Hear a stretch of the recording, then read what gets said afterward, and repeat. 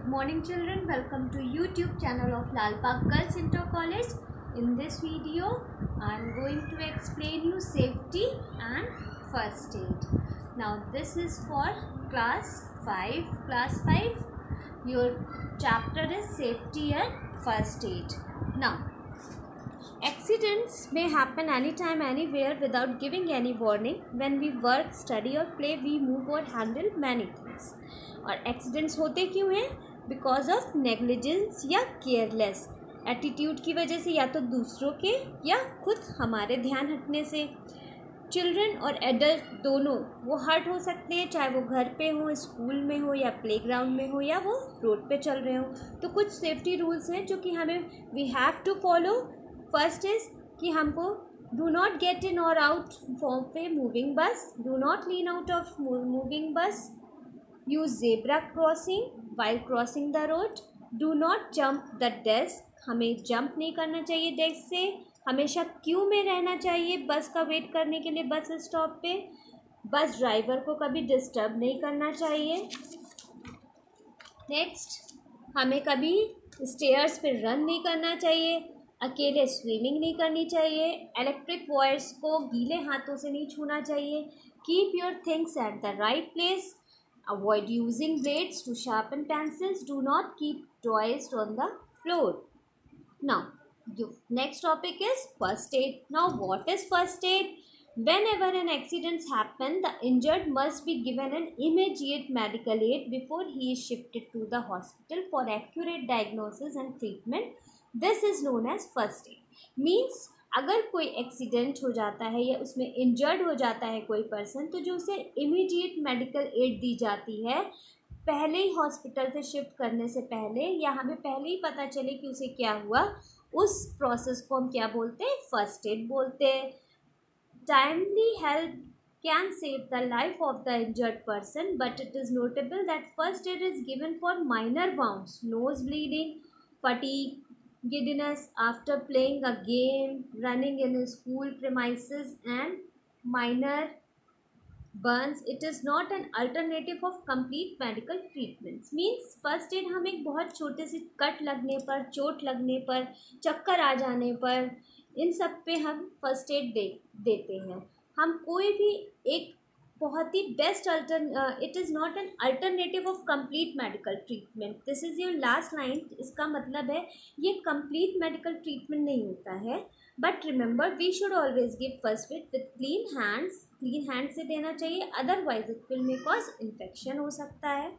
जैसे कि first is sprain A sprain generally occurs uh, around wrist and ankles when they are suddenly twisted and swells up due to back fall.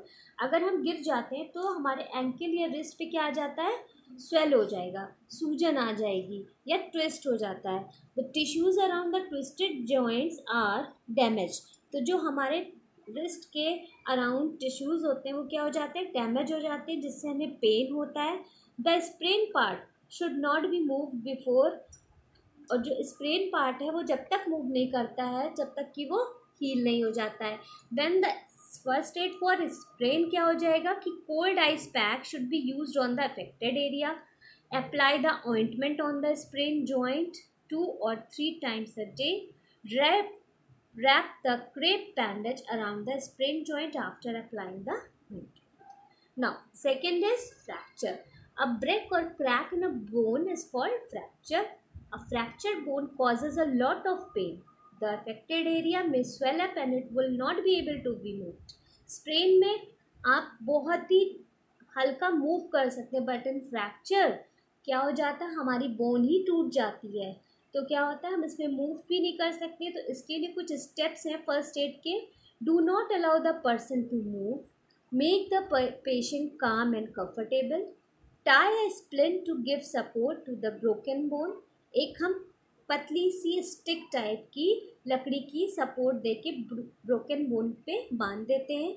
फिर the fractured arm can be supported by a sling it give support to the arm and prevents its movement the person must be rush to the hospital immediately this is the first aid first aid for fracture. Now third is your burns. Once can get burned where he or she comes in contact with hot objects, steam, fire, crackers, electric shock, etc. Sometimes chemical substances जैसे acid cause burn. In case of minor burns, the affected skin develops a reddish color. बहुत हल्का सा अगर minor burn है burn है तो क्या होता है reddish color आता है Wash the affected area under cool running water for some time. After that, apply Bernol and place clean cloth on it. Prevent any infection.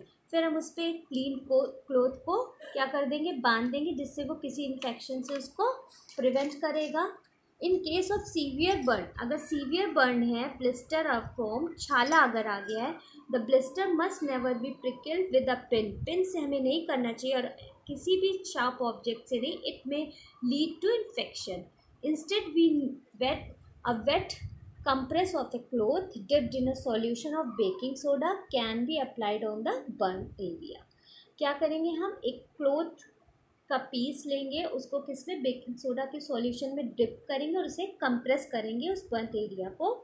Take the victim to the doctor immediately after the first aid is administer if it is chemical burn the burn area must be wash with cool running water dry and loosely wrap a clean bandage around and then the victim must be taken to the doctor immediately. Now in minor cuts and wounds, in case of minor cuts, the wound should be cleaned with soap and water and then with small packs of cotton soaked in Dettol or sap. If there is bleeding from the wound, ice will stop or minimize the flow of blood.